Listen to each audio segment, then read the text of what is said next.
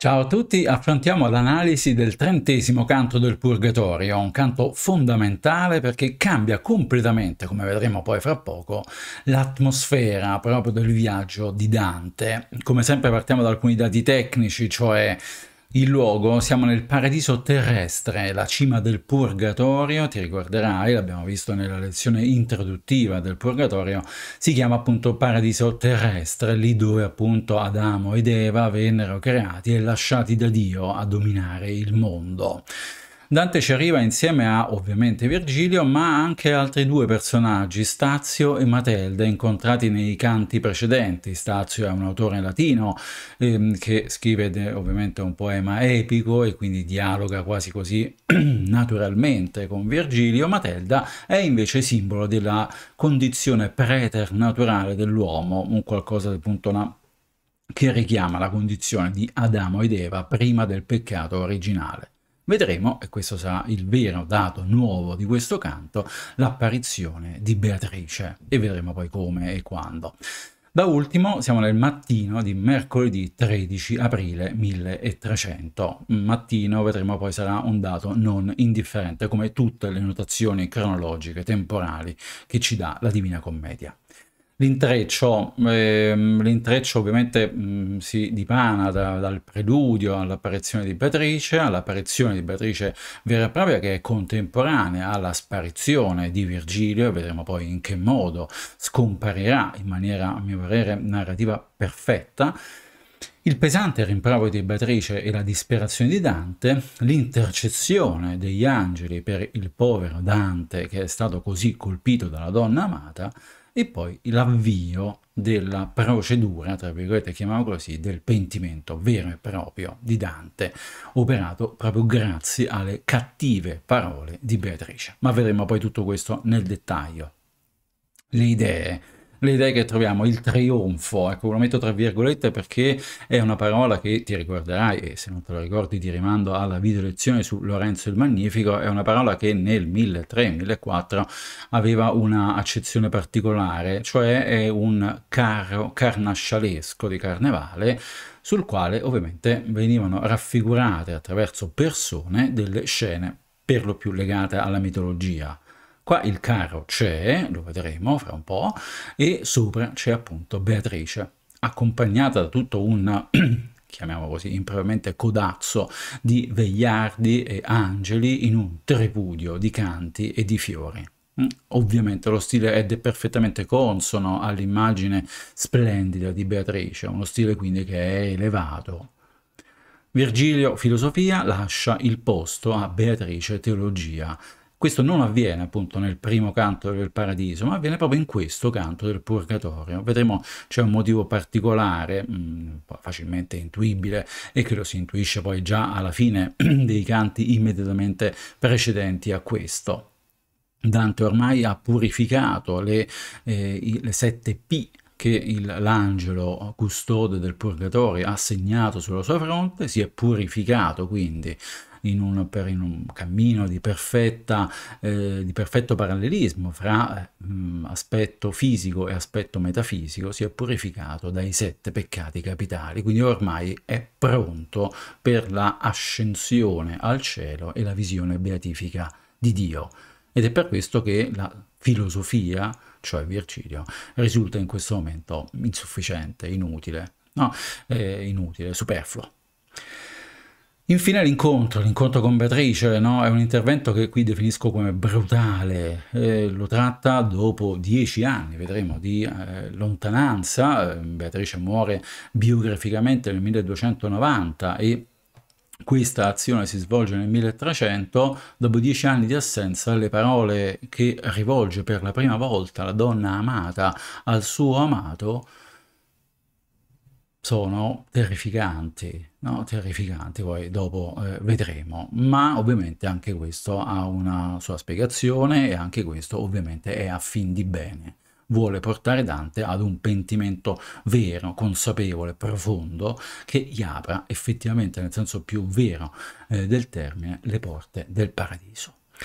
Ecco qua ti volevo far vedere appunto proprio per questo motivo qual è il, eh, il questo, questo, corteo, eh, ripeto, non lo associamo con Viareggio o Rio de Janeiro, ma insomma è qualcosa che, ehm, è qualcosa che appunto eh, assomiglia molto a questo. C'è un grifone, un grifone è un animale eh, appunto che mm, mescola diverse altre entità animalesche e i sette candelabri nel, nel, nel margine inferiore di, questo, di, questa splendida miniatura, che è antica evidentemente, e i sette candelabri accesi che, mh, mm, ti rimando ad una lettura autonoma dei canti precedenti a questo, lasciano dei segni fortissimi, coloratissimi all'interno del cielo, ma eh, ovviamente questo miniatore non ha voluto renderle per non appesantire ulteriormente. Ecco, mi tolgo di mezzo in modo che tu possa eh, vedere meglio.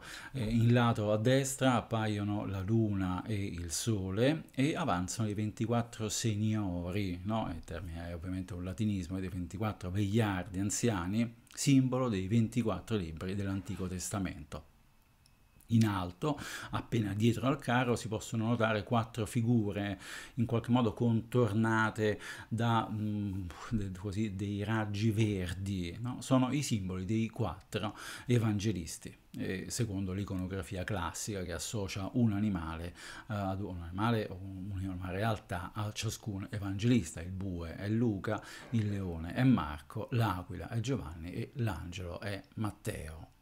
Intorno al carro danzano sette donne, guarda un po', simbolo delle tre virtù teologali, le troviamo immediatamente vicine, più vicine giustamente al carro, sono le virtù della fede, della speranza e della carità, vestite di questi colori che noi normalmente associamo a queste tre, eh, queste tre virtù, l'ardore della carità con il rosso, il verde della speranza evidentemente, e poi appunto la, eh, il bianco della fede. Dopodiché troviamo le quattro invece virtù cardinali, no? per cui appunto fortezza, giustizia, prudenza e temperanza.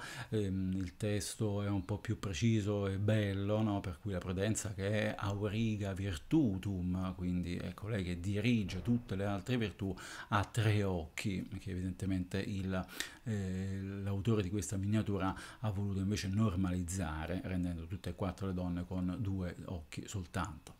E poi troviamo alle spalle di tutto il gruppo, una, eh, ci sono quattro anziani di umile aspetto e dietro di loro un vecchio solo che viene dormendo con la faccia arguta, che sono ovviamente rispettive personificazioni delle lettere di Pietro, Giovanni, Giacomo e Giuda, scontato il fatto che sia, non sia Giuda Iscariota il traditore, ma sia Giuda Taddeo che faceva parte del collegio apostolico e della Apocalisse di San Giovanni.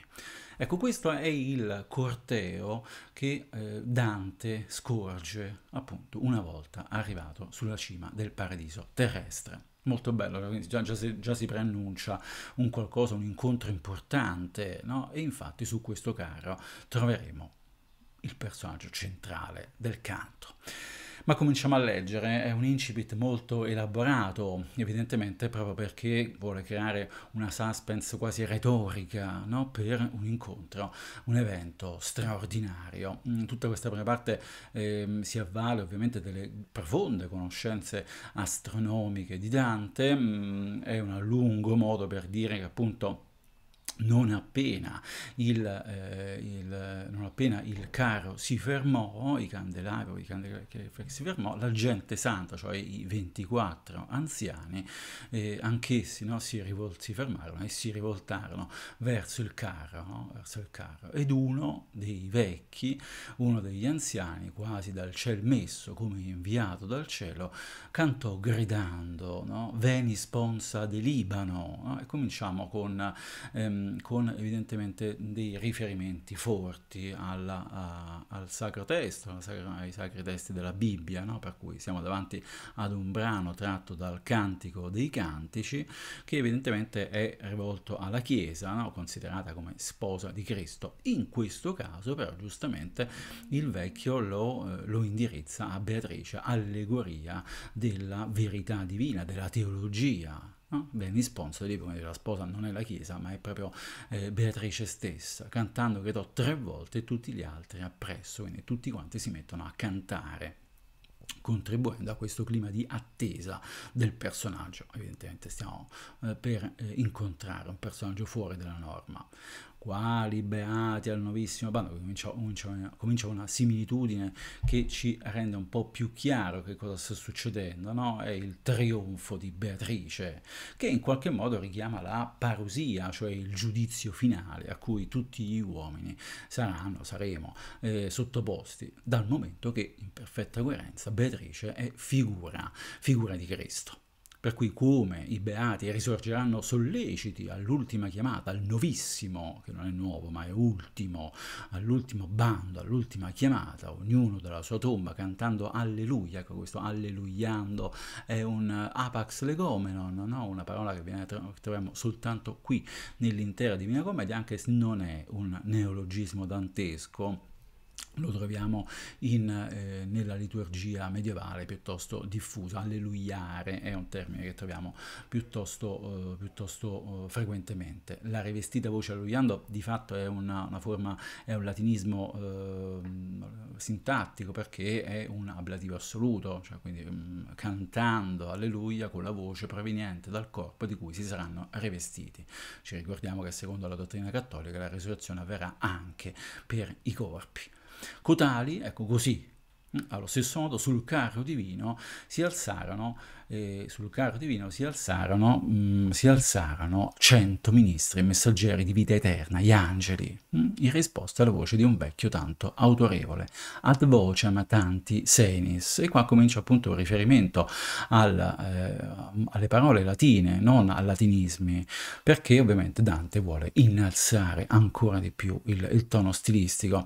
Se vuoi c'è un motivo anche più semplicemente di, di rima, perché eh, ovviamente trovare una rima italiana che finisca in is o enis più precisamente, beh, sarebbe stato decisamente complesso, per cui in queste terzine troviamo, guarda caso, delle parole latine, ad vocem tanti senis, quindi alla voce di un vecchio tanto autorevole, tutti dicevano benedictus qui, veni, qui venis, no? benedetto colui che viene o tu che vieni, ehm, perché evidentemente è un riferimento al Vangelo di Marco, in cui l'abbiamo letto tutti quanti la Domenica delle Palme, in cui Gesù entra trionfalmente nella, nella città santa di Gerusalemme. Per cui ecco, è importante, benedetto tu che vieni, evidentemente in questo caso eh, fa riferimento ancora una volta a Beatrice, e gettando fiori in alto e tutti intorno, manibus o date lilia plenis. Molto bella questa quest immagine dal punto di vista mh, letterario, perché ti ricorderai che questa è una frase dell'Eneide, siamo sempre nel sesto, eh, nel sesto canto, la, la, discesa agli inferi di Enea, in cui vede uomini del passato e uomini del futuro. No? E ti rimando alle video lezioni che parlano dell'Ade eh, virgiliano, e, e fra i, coloro che eh, si reincarneranno fra un po', non si sa bene quando, o meglio lo sa Virgilio, ma evidentemente non lo sa eh, Enea, ecco, eh, c'è appunto Marcello, no? un nipote di Augusto che sembra essere molto promettente e fa ben sperare per il futuro. Quindi una citazione che viene dall'Eneide, una citazione che viene dall'Antico, dalla, dal Nuovo Testamento, una citazione che viene quindi che mm, in qualche modo vuole riunire nella figura di Beatrice eh, una, la cultura laica, la cultura eh, religiosa, che soltanto noi evidentemente abbiamo distinto in questa maniera così, eh, così brutale, così antiumana in qualche modo. Io vidi già nel cominciare del giorno la parte orientale tutta rosata e l'altro cielo di bel sereno adorno. Siamo nel momento dell'alba, no? per questo dicevo all'inizio che è importante sottolinearlo perché è il momento speciale della teofania, No, questo eh, tutta rosata ci richiama in qualche modo anche Omero, no? Rododactylo Seos, l'aurora dita rosate con cui spesso cominciano i canti dell'Iliade e dell'Odissea e la faccia del sol nascere ombrata, sicché per temperanza di valore l'occhio la sosteneva a lunga fiata. Importante notazione, sembra banale, dice che c'era un po' di, di nebbia, c'era un po' di nebbia e quindi l'occhio poteva fissare a lungo, lo sguardo, a lungo eh, la vista poteva fissare a lungo eh, l'immagine del sole perché è importante? Perché in realtà eh, nel paradiso la stessa azione sarà ovviamente impossibile, perché eh, Dante non riuscirà a vedere eh, fisso negli occhi, se non per un millesimo di secondo, la, eh, la luce che promana da Dio direttamente. Allo stesso modo, dentro la nuvola di fiori che saliva dalle mani degli angeli e ricadeva in basso dentro il carro e di fuori, ecco, c'è un'apparizione stilnovistica, qui non c'è bisogno di andare a citare i vari eh, Guinizelli, Cavalcanti, lo stesso Dante, però eh, per dirti che ovviamente ormai eh, Dante non solo si è distaccato dal dolce stil nuovo per motivi vari, eh, su cui abbiamo fatto anche una videazione a cui ti rimando, ma eh, ormai siamo nel paradiso terrestre, stiamo per arrivare nel paradiso celeste e questo comporta un superamento esistenziale, quindi anche letterario, poetico, delle, delle situazioni stilnovistiche, situazioni tipo che lo stilnovismo aveva portato nelle sue poesie. Tutto ormai è sublimato dall'atmosfera paradisiaca e tutt'altro. Eh? Per cui molte analogie anche nelle reazioni dantesche, ma ormai l'atmosfera è tutta un'altra cosa. Mm? Mi apparve una donna, ecco, sopra Candido, vel cinta d'oliva donna m'apparve, che indossava un velo bianco ed era incoronata di olivo, sotto un verde mantello vestita di colore rosso fiammante. Ancora una volta tornano le virtù teologali di cui abbiamo già parlato all'inizio, un candido velo bianco, la fede, sotto verde manto, la speranza, fiamma viva rosso, la, l'ardore di carità, l'amore. Hm? Quindi fede, speranza e carità, carità nel senso più greco del termine e il mio spirito, che era stato già tanto tempo senza tremare, ecco lì la reazione di Dante, diciamo, stilnovismo, il tremore era una delle reazioni stilnoviste, ma qua siamo, ripeto, in un'atmosfera ormai mm, non più umana, colpito dallo stupore per la sua presenza, anche senza vederla con gli occhi, grazie a una virtù nascosta che mosse da lei, sentì la grande potenza di un antico amore è molto bella questa immagine che Dante ecco, ormai ha, ha, perso quelli che sono ehm, i, i, i, tratti umani, tra virgolette, le, le dinamiche umane tradizionali. Eh? Nonostante siano passati dieci anni dalla morte, riconosce Beatrice, senza degli occhi aver più conoscenza, non c'è più bisogno del tramite della vista.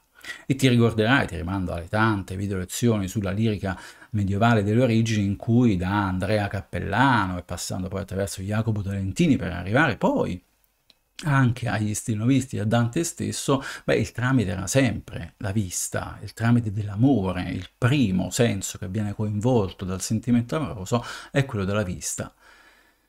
Qui manca Qui manca e quindi ancora una volta segna, Dante vuole segnare la distanza fra tutto quello che lui stesso ha scritto e tutto il passato della lirica eh, d'amore precedente a lui. Non bastano, non bastano più gli occhi, non servono neanche più, c'è una occulta virtù, ecco, c'è una, una, una forza, una potenza che promana direttamente da questo essere soprannaturale, quale è Beatrice ormai, donna angelo a tutti gli effetti, che sorpassa quelle che sono eh, le capacità umane, i sensi che ogni essere umano porta con sé. Non è più questo, ormai non, è più tra, non c'è più questo. Tosto che nella vista mi percosse, ecco, l'alte virtù, ancora una volta insiste su questo termine, che già mi aveva trafitto prima che io fuori di Porizia fosse, ci ricordiamo che il primo incontro avviene nel 1274, quando entrambi i bambini, Dante e Beatrice, hanno nove anni, a questo fa riferimento e ti ricorderai l'abbiamo studiato nella Vita Nova, a cui ti rimando ancora una volta, il primo incontro di Beatrice, siamo ai primissimi capitoli, che cosa succede? Non appena la mia vista fu colpita dall'altra virtù amorosa che già mi aveva trafitto, mi voltai a sinistra, con l'ansia, col respiro, proprio con quel turbamento interiore con il quale il fantolino cioè il bambino, no? colui che ha appena appena imparato a fate ora a parlare, eh, infante viene da questo che non sa parlare, corre la mamma quando ha paura, quando è lì afflitto, quando è turbato o gli fa male qualche cosa. Quindi Dante si rivolge alla figura paterna che l'ha finora accompagnato, Virgilio. E mi sembra molto importante per dicere a Virgilio, men che dramma di sangue mi è rimasto che non tremi, conosco i segni dell'antica fiamma.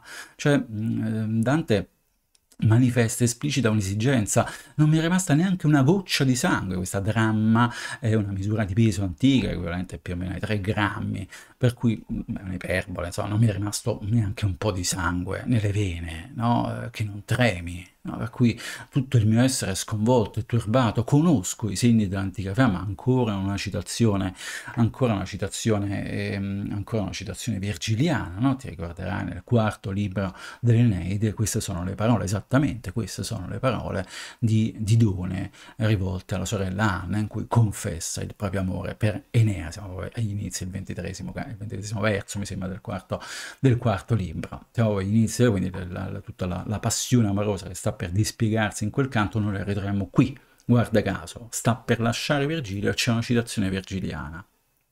Ma, ecco qua mi sembra geniale al, dal punto di vista narrativo. Il ma eh, perché? Ma Virgilio ne aveva lasciati scemi di sé. Virgilio dolcissimo padre, Virgilio a cui per mia salute diemi, no? E, ehm, è importante, cioè Virgilio ci aveva lasciato, ci ovviamente perché Dante ingloba in sé, non è un plurale maiestatis, ma ingloba in sé la figura di Stazio, ci aveva abbandonato, mm, ci aveva abbandonato, padre, dolcissimo padre, al quale mi ero affidato per la mia salvezza. E qua richiamo, ovviamente, si chiude un cerchio narrativo che era cominciato nel, nel primo canto. E, ed è importante perché ovviamente eh, rimanda a qualcosa un po' più profondo, perché c'è l'insufficienza della ragione umana davanti al soprannaturale, per cui ormai la presenza stessa di Virgilio è, è superflua, non, non, serve più, e quindi può eh, tranquillamente mh, mm, scomparire. No? E tutte le delizie del paradiso terrestre che Eva, la prima, la prima madre, aveva perduto, quelle premizie, quelle delizie che eh, vedo attorno a me stando nel paradiso terrestre, beh, non poterono impedire, non mi poterono impedire di ancora tornare a piangere, quindi a, sporcare le mie guance di lacrime. Dante ritorna disperato. Mi sembra bello però dal punto di vista narrativo, insisto perché, perché poteva, no? un poetastro qualsiasi avrebbe potuto eh, instaurare inscenare una, una, così, una sceneggiata napoletana nell'accezione peggiore del termine. No, dai Virgilio, resta con me. No, guarda, devo andare via, ormai il mio ruolo è finito. No, resta ancora perché tu sei importante. Ecco tutta una sceneggiata penosa di questo genere e invece Dante, da grande poeta qual è, fa scomparire, scompare da un momento all'altro senza neanche un, un, un ciao, neanche un grazie no? superfluo in ogni caso sarebbe stato, però è bello perché mh, appunto non c'è, eh, non c'è soluzione di continuità, c'è sempre una figura accanto a, accanto a Dante e in questo caso vedremo di chi si tratta. Dante. Ecco, siamo al verso 55 ed appare, no? eh, ed appare il nome del poeta. Vedremo, questo sarà ribadito al verso 63, chiederà scusa addirittura Dante eh, di questo perché ovviamente è l'unica volta in tutta la commedia che appare il nome dell'autore. Infatti, mm, secondo ovviamente quelle che sono le eh, convenzioni retoriche dell'epoca, non si può citare il proprio nome all'interno dell'opera. Dante lo fa ma non lo fa ovviamente per vanagloria, anzi al contrario, forse perché proprio in questo momento comincia il rimprovero di Beatrice, beh, proprio per accrescere forse la sua colpa, cioè non è sta parlando ad un uomo generico, no, no, sta parlando proprio a me, a Dante, io ero il peccatore, io ero il personaggio in grande, gravissima difficoltà.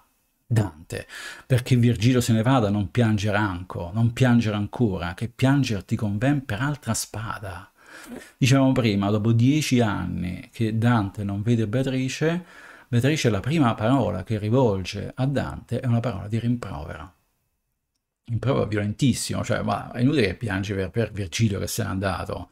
Ben dovrai piangere per ben altri motivi. Eh? Ci sarà un'altra spada, no? Ci sarà un'altra spada che ti trafiggerà l'anima.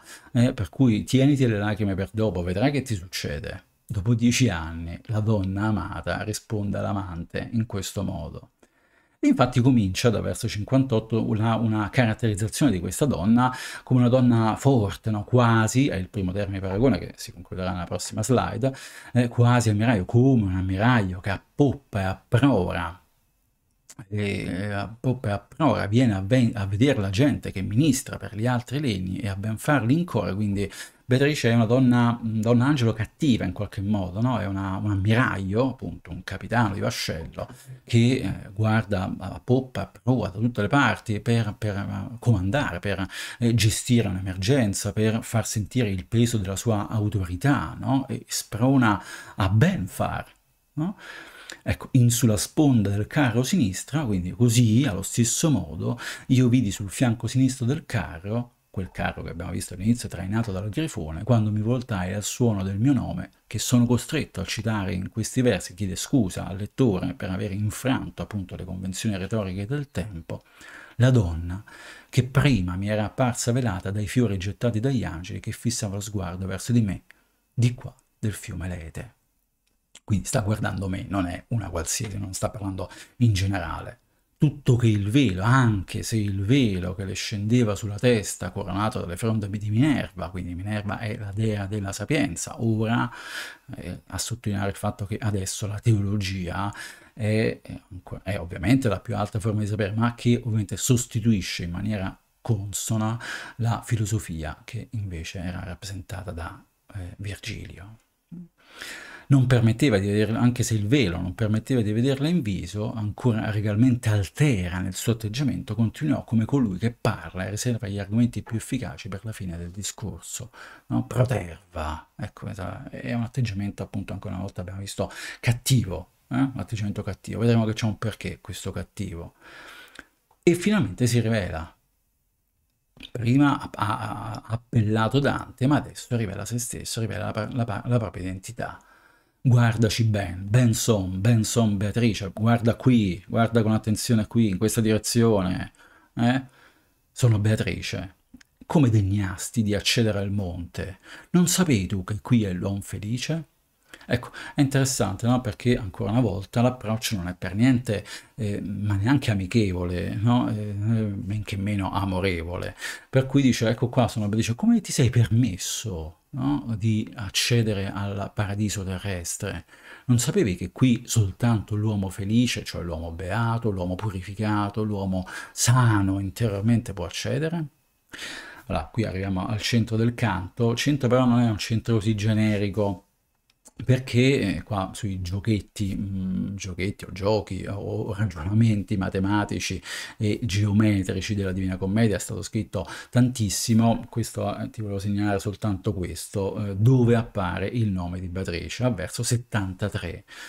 Ed è interessante perché eh, come numeri proprio, no? siamo nel centro geometrico del canto, è preceduto da 72 versi, è seguito da 72 versi, il, canto è composto da 145 versi, i numeri, no? 73 verso, 7 più 10, preceduto da 72 versi, 7 più 2, 9.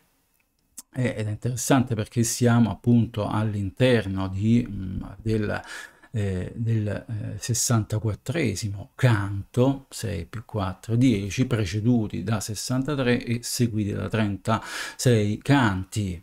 Mm, è interessante questo perché c'è un continuo e costante gioco legato al, al 9, no? legato al 9 e al 10. Mm che significa questo? Beh, certo ci servono un po' di nozioni teologiche, perché? Perché ovviamente il 9 è il numero trinitario per eccellenza, no? È, è per questo che mh, il numero eh, 73, eh, il verso a cui appare il nome di Belice, è un verso importante. Allora, qui, qui mh, mm, ci fermiamo anche noi, ci sarà spazio per una seconda parte della spiegazione dell'analisi, perché appunto è apparsa Beatrice, adesso dobbiamo capire qual è l'azione che Beatrice vuole svolgere nei confronti di Dante, ma questo appunto lo vedremo nella prossima video lezione. Ciao!